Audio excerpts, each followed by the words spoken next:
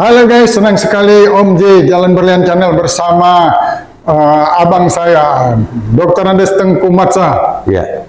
Assalamualaikum warahmatullahi wabarakatuh. Ini hari saya bersama beliaunya bukan sebagai pengusaha kuliner, tapi sebagai seorang politisi. Bang, ya. Ya, iya bang, ya ya Bang Jenal, ya suka ada Bang Jenal lah.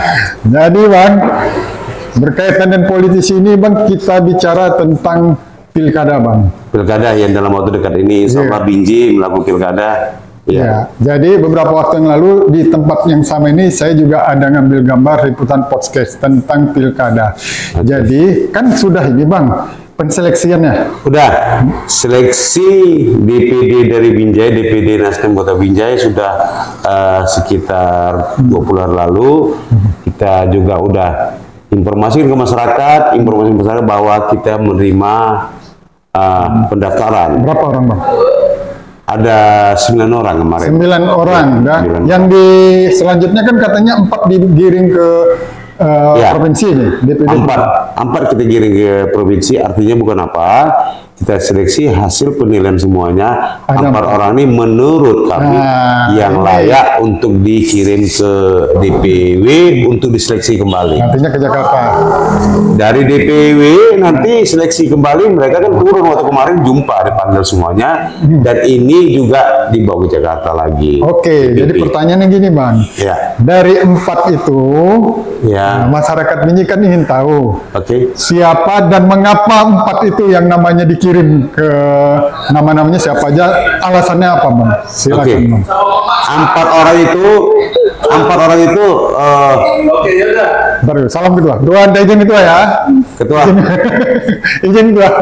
ada ketua saya itu. Oke, silakan bang. Namanya satu Jainuddin Purba, Haji Jainuddin Purba. Siap. Dua, eh, Bapak Wali Kota Binjai, Bapak Amir Hamzah Mapi. Ya. Tiga, Andri. Andri mana? Andri. Andri DPRD Sumatera Utara saya. Demokrat, Partai Demokrat. Demokrat. Oh, Kelima, Pak Rahmat. Eh, keempat Pak Rahmat. Pak Rahmat. Oke. Nah, Dulu saya jabarkan ini. Empat itu, iya perlu. Iya. perlu. Empat itu kenapa nih bang? Kan karena kayaknya ada satu nama dan beberapa nama lagi yang udah digadang-gadangkan Ada ini. tiga, tiga empat nama lagi. Jadi satu Oke, alasan kami. alasan. Kenapa kami eh, mencantumkan nama Jeni Purba di sini? Pak Jeni Purba. Untuk bakal calon wali kota Binjai ada dasarnya. Pak Jeni Purba itu anggota DPRD Sumatera Utara Ya betul.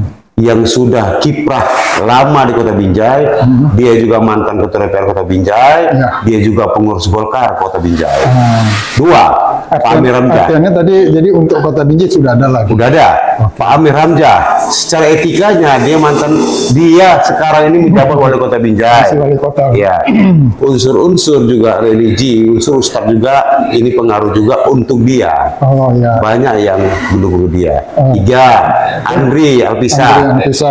Dia tuh anggota DPD Sumatera Utara dan mantan orang tuanya mantan wali kota Binjai. Ah, 20 dia loh. Jadi orang tuanya Ah, ah, mantan wali Binjai. kota Binjai Pak Muhammad Pak Ilham. Pak Idham. Oke. Empat, ya Pak Rahmat ini Ini keempat Pak intelektual. Rahmat. Pak Rahmat intelektual. Pak Rahmat yang mana nih? Pak Rahmat ada itu eh, dari Kampung Damai, Kulon Damai juga masuk berkasnya. Oh, hmm. Dia itu intelektual dan pengusaha muda. Ini Ya. ini SDM-nya kita nggak ragukan lagi. intelektual pengusaha muda. Ya. Lama di Binjai. Lama di Binjai, nomor Binjai Kian. Oh, jadi alasannya itu. Ya. Itu alasan. Alasannya. Tapi kan ada alasan yang sama yang masuk dengan calon dengan bisa Calon yang lain. Calon yang lain. Oke. Misalnya langsung aja Ke siapa apa apa? Pak Rizky. Pak Rizky. Rizky Adi Sabana. Saya juga nggak tahu Pak Rizky ini apa organisasi di Binjai. Nggak ada. Itu kira-kira kawan-kawan semua. Nggak ada organisasi Binjai. Dia muncul balihonya lama di situ. Di Binjai. Dan ini hasil dari rapat pleno DPD Kota Binjai. Ya, selama bertahun ini kan udah ada juga sumbangsinya untuk warga kota Binjai beliau. Apa itu? Nggak tahu. Nggak ada, nggak ada, nggak, nggak. Saya nggak, nggak dengar. Kawan-kawan DPD Nasdem juga nggak dengar. Nggak ada dengar seperti itu, nggak tahu. Gimana? Ini dasar apa orang ini? Ya paling tidak kan sama Tengku juga, Bang. Ah, ini nepotisme apa ya nih? Sebenarnya nanti nepotisme ini kan Binjai ini masyarakat kota Binjai punya semua.